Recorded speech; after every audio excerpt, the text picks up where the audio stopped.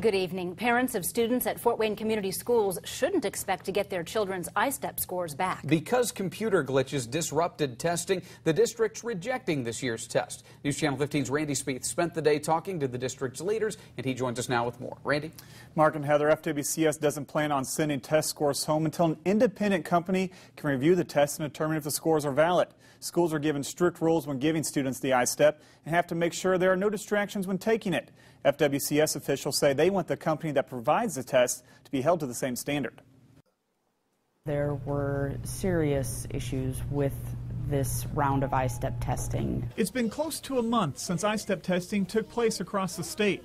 During its first two days, glitches forced 12,000 FWCS students and thousands more across Indiana to stop testing. They had geared up for this all year. They'd prepped, they'd practiced, they're ready to go, and then the day it actually happens, the thing's freezing and kids are crying and the teachers are freaking out. CTB McGraw Hill is the company that runs the computerized test.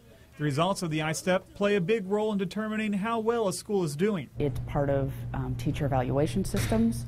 It's part of our letter grade, and it gets tied into funding. It's throwing a real wrench into all of those evaluation systems and compensation systems.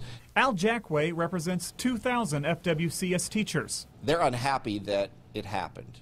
But they're not unhappy that it happened because it brought to the attention that this is really a flawed system. Leaders at the state's largest district now hope that the errors have gotten the attention of state legislators, who they hope will make changes to prevent future errors. Is this really how we want to judge the success of our schools by this one measure that clearly can fall apart. FWCS is encouraging other districts to join its efforts. So far, leaders do not know any other district that's also rejecting the scores. Superintendent of Public Instruction Glenda Ritz has also recommended an independent third party review the test results. Randy Spieth, News Channel 15.